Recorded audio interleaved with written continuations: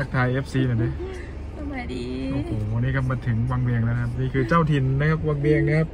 เดี๋ยวน้องนี้จะพาไปที่ไหนครับวันนี้ อ่า จะเข้าไปทานข้าวก่อนเนาะอ่าไปหาอะไรหาอะไรสอบกินใช่ไหมตามบางเวียงอ่าตามวังเวียงก่อนนะแม่นแล้วค่อยไปดูงานอีกทีโอเคไปเรา